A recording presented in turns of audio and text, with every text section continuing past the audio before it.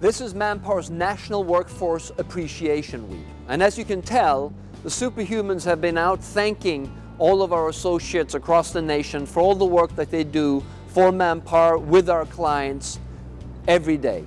But I wanted to add my own personal thank you on behalf of the entire Manpower organization for the work that you do for our clients and the success that you bring our business.